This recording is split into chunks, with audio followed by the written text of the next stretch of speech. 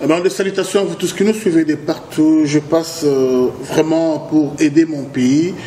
à voir clair, na, na hauteur, longueur, largeur, profondeur, na yango sur un pays trop riche comme le nôtre, mais oyo azali na peuple oyo azali le plus pauvre du monde vraiment tosunga mboka na biso totala ba individu te totala baintérêt égoïste te totala makambo ya tribalisme te totala régionalisme te népotisme te mais totala intérêt ya mabele ya mboka na biso mpe intérêt na biso bana na biso baza na bapoto bana baafrike du sud baza partout oui bakozwa badiplôme c'est bien bon baza na yango lelo olobi bakozonga na pays mais bakosala nini na mboka il faut bakuta misala il faut bakuta mboka bien environnement bien Il faut bakuta mboka propre, banzela kitoko pour bana vraiment ba se retrouver. Sans cela, et kozala pasi mingi pour la génération future parce que génération na biso eza génération ya sacrifice. C'est vraiment une génération sacrifiée depuis le temps de Mobutu, Mouzé, Joseph et, et puis euh, Lelo Oyo on conjugue beaucoup d'efforts pour que vraiment tout Bongisa Esika et B baki bandeko kobonga ya congo ezodépendre na yo ozotala ngai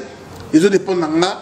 edépend na congolais nyonso ezodépendre kaka na motu moko te ke non totalela kaka ye te mais ezodépendre na biso nyonso je connais le peuple congolais atelema une seule fois depuis histoire ya congo congolais atelemaka une seule fois na 59 oyo tobenga martyr de l'indépendance bandeko batelema vraiment basala vrai soulèvement populaire une seule fois à part wana congolais azali le peuple le plus naïf du monde bandeko natambola na plus de 5 pays plus de 5 pays peut-être 10 ou 15 mais namona congolais aza vraiment le peuple le plus naïf du monde ezali congolais na biso ya kinshasa na oyo ya brazzaville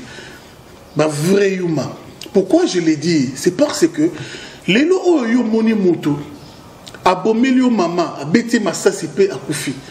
elobi na yo na bacousin na yo na baniese na yo na baneve na yo na baoncle na yo botambola bomona mpe moto wana na balabala bosalaki eloko te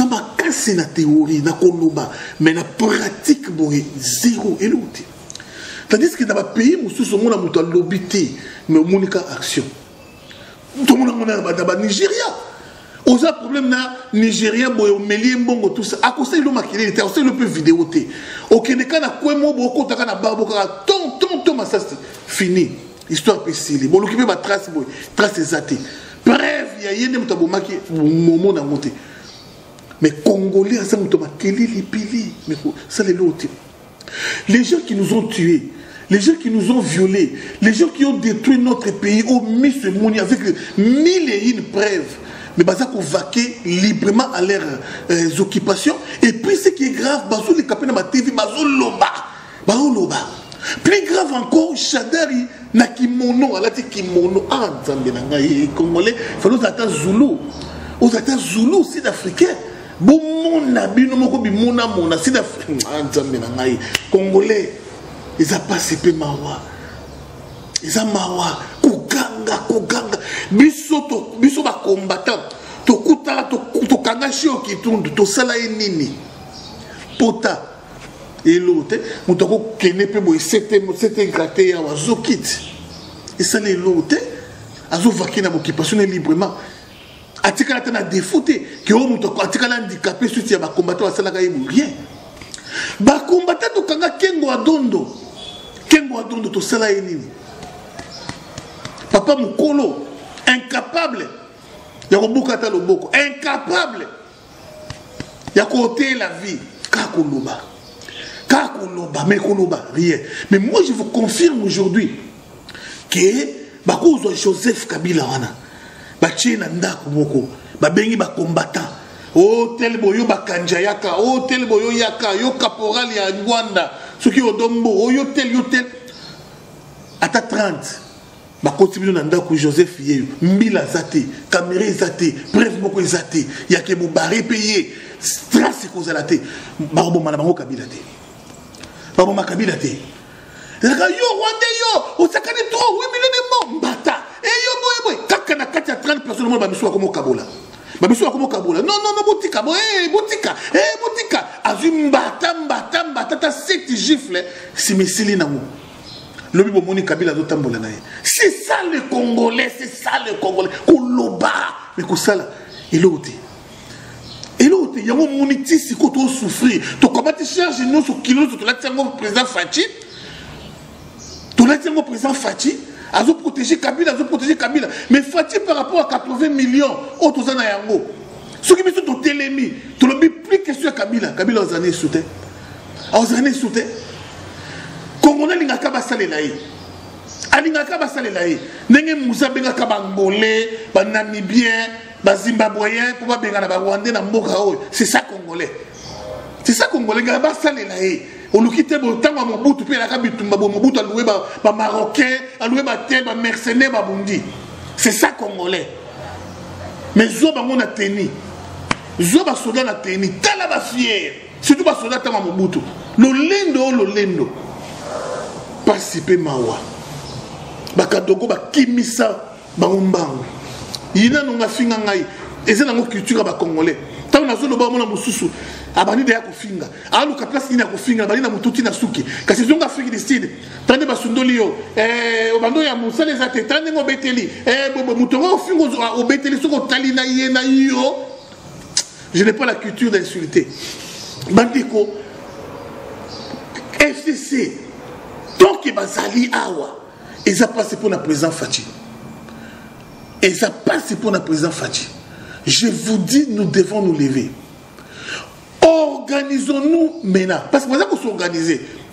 le fait ya koshadar ekoleka na kimono nayebi so akomi ceinture noire nayebi te eza langage etalisa bino mais bango wana bose prépare mais biso na ngambo biso préparation nini tosala zéro eloko te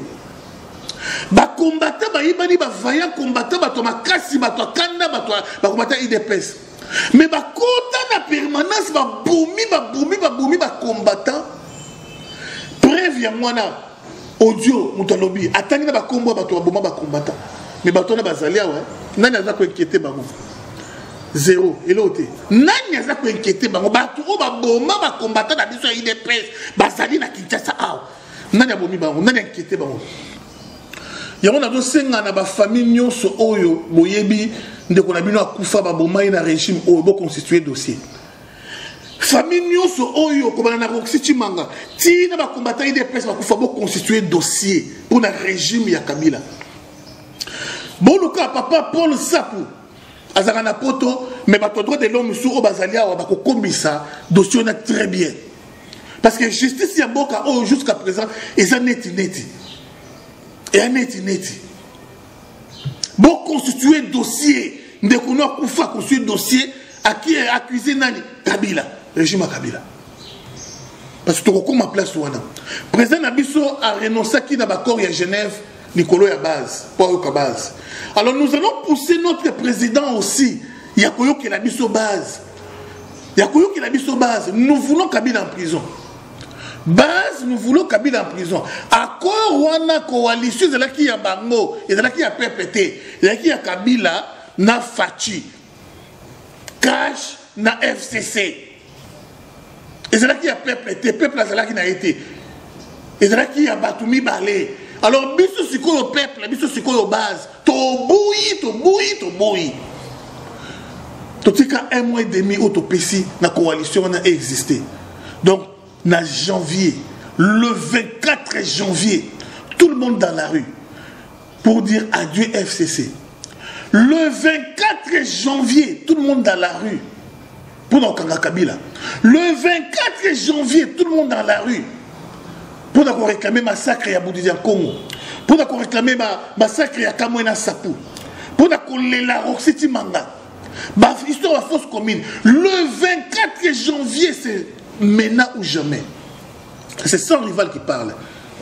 to reteni date wana biso nyonso dans deux mois le 24 janvier qu'il pleuve qu'il neige tokoyoka mutu te tokoyoka mutu te tokoyoka mutu te fils mokoko yanga ndeko topartageaka ideologie moko mai naosenga na yo makila ya etienne tisekedi esala makila ya etienne tisekedi esala ça je m'adresse à fils mukoko lelo oyo boko récupérer mukoko mais sans rival azali hein? ne trompez-vous hein? nazwa bainvitation ba ebele ya koleka na rtnc ya koleka meme na tele 50 koleka na batele batele banda nayaki sasa kinshasa awa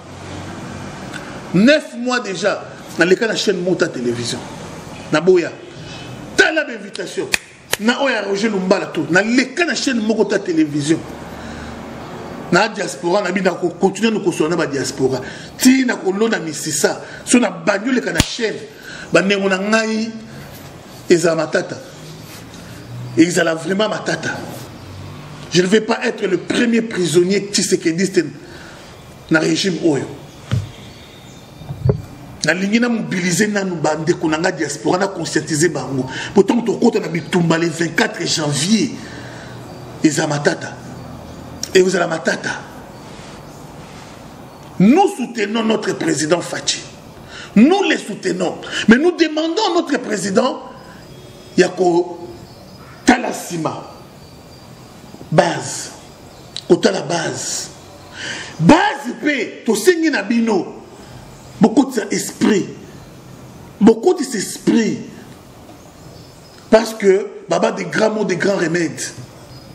ya solo maladi ya moke ekisi elemba maladi ya monene ekisi ya makasi c'est-à-dire ndeko na ngai qui tue par l'épée il doit périr par l'épée tomoni nde bakati doli makambo soki doli makambo po c'est oui c'est bien bon abongo tango fort abongo diono numbi abongo tous ces gens oyo mokili emoni emoni vraimen emoni abongo karine oyo aboma roxy cimanga bacombattant peuple congolais tozala bato baaction tozala bato kolobaloba te tozala bato baaction koloba ebele mais soki na axe na acte bo eloko moko te réintégration ya ba m23 na armée vrai ou faux nayebi te mais si l'histoire est vraie ya solo babakenga na baboma bato ebele ya ebele ya ebele leso nini tokopesa c'est bien bon john chibango abima te ntango bato bakomi komi komi na ba conseiller ya président na ba te ba comédien John Chibangu libéré John Chibangu ngai sans rivaux na bi John Chibangu aza libéré te ba finga ngai na ba Facebook ba finga ngai faux journaliste journaliste azanga investigation eh boye boye ba finga ngai le général John Chibangu aza ko croupir toujours na prison pourquoi président apesi déjà val po abima mais pourquoi azobima te général John Chibangu azobima te pourquoi peuple congolais ka naïf est ce que peuple aza facha mpe ketoke ntina ndolo wana jol cibango abima tosanti mpe pression boye régime ecede rien rien kabila se comporte mapeka ya kabila eleki na motu likolo bachateri babomisa bato babomisa bato ti makambo bakamwi na sapututu me ti lelo baza koganga balata bakimono mapeka awa ti likolo mapeka likolo me peuple kinois peuple congolais aotala ne kaka boye aotala ne kaka boye naïf le peuple le plus naïf le peuple le plus yuma nkebere ngotobobo yuma zoba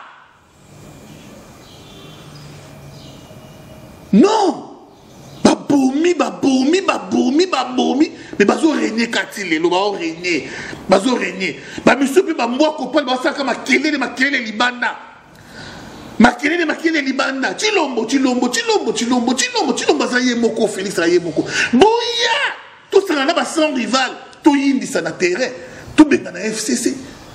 tobengana fcc rien rien eloko te lamuka lamuka lamuka fayulu fayulu fayulu est incapable ya kosala quelque chose ape na bato te fayulu aza na bato te je vous dis la vérité bakosaka bino fayulu aza na bato te ah oui nous devons voir clair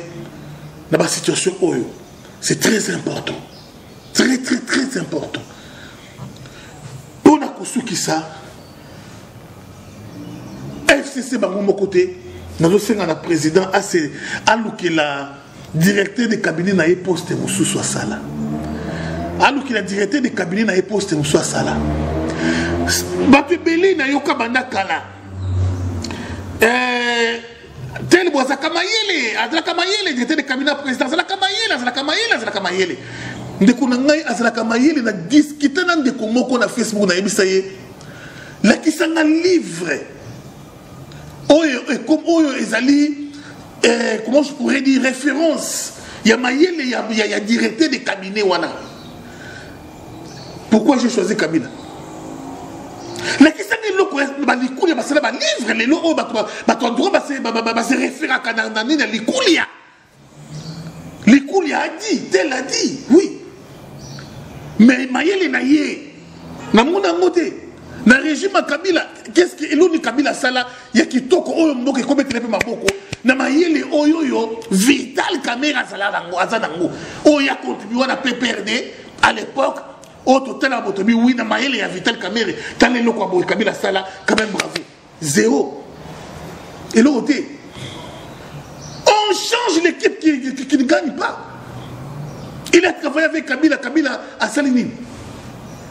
et aujourd'hui lisu ya kabila na kati ya, ya udps lisu ya kabila na ndako ya président félix c'est kamere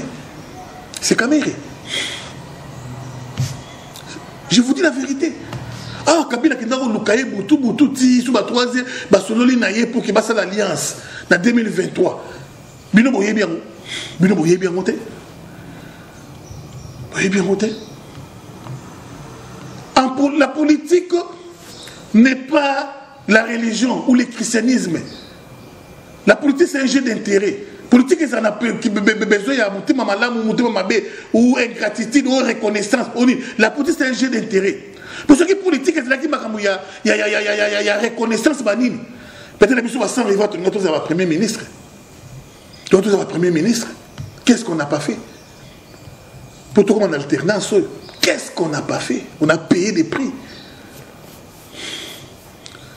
mais on se retrouve ke bato misusu oyo oyo oyo banyokola biso banyokola bafinga papa tisekedi bafinga président félix baza na gâteau baolia baovivre bazovivre il suffit kaka lelo atoboma no bato lelo kaka ogangi kaka fati beton fati beton na yebisi yo ke na batisekediste nyonso bakomi okumisa yo babosani kobomaka bato na permanence ya udps babosani kobomaka roxy chimanga babosani kokomplota mpo na masakre ya moto ya congo leka kaka na tv lelo oyo faci beton la gratuité de l'enseignement oui aujourd'hui c'est félix ou rien nayebisi yo ke tala batikepelisa babetolo maboko eh. peut-être bakozwa sans rival bazwi babwaki ye libanda na bisika mikauka mais yo baye bazwi bavandi so na kiti pourquoi ogangi fati beton babosani babosani le passé le passé ya mosika te kaka ya hier ya hier oyo oh, ya hier babosani Combien de fois Vital Kamerhe a combattu Papa Etienne Tshisekedi pour le pouvoir Combien de fois na insulte na makambo nyonso e akoma koko anuna e boyeboye azala boye combien de fois combien de fois et aujourd'hui bavandisi na lie très saint ya, ya pouvoir directeur de cabinet hey, eh, espèce ba top secret nyonso ya régime evandi pendant que boyebi ke ye aza candidat na 2023 papa merci mpo na baalliance eh? baccord ya, ya genève merci beaucoup et ya pardon ya nairobi merci vraiment na yo mais kende ozala ata ministre kende ata ministre esala biso bien na récompense c'est par là qu'on va mettre un point final na liso na biso ya lelo vraiment mpasi na motema président mettez l'homme qu'il faut à la place qu'il faut zota jbk azala ta directeur de cabinet na yo bato mingi loko baprofesseur andre mbata mango bazali me base retrouve te babundi makasi mpo na régime oyo l'homme qui a dit ya pas de troisième mandat mpo na kabila ndeko oyo aleki so mikolo oyo alobi ke kabila fa kufa sekwa mpo apostule so na présidence prof andré mbata un université professeur ya liboso oyo atelema oza mais na régime oyo eloko te oke mobindi na régime oyo ata mobindi moko te peuple oublie bacoalition wana eza baintérêt na bango oui bravo mais peuple azo se retrouve na ye te peuple Ah, c'est retrouvé. Yango peuple, c'est quoi vous qu'on se prenne en charge de vous chasser FCC na janvier ah, le 24 janvier. Bande quoi poto boya.